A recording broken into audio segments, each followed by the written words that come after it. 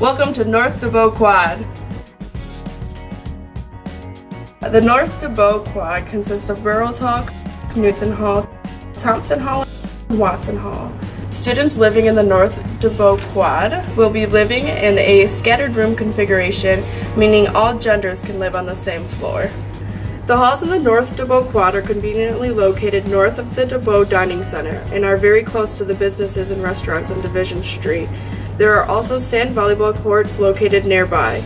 Each hall in the North DeBot Quad is renovated and has individual room temperature control, air conditioning, and an elevator.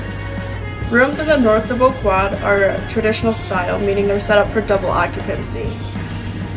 Each room comes with a desk, chair, bed, and bed frame, dresser, and a mirror for each roommate. Rooms in this quad also have ceiling lights.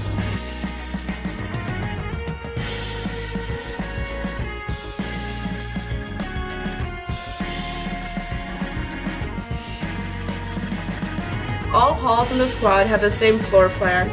Each hall has four floors filled with resident rooms and a basement with amenities. Each floor has a common kitchen and single-sex bathrooms.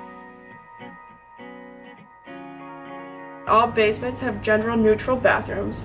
Located in the basement is the laundry room, common area,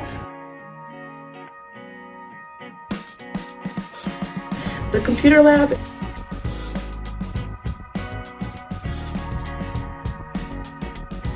quiet study room,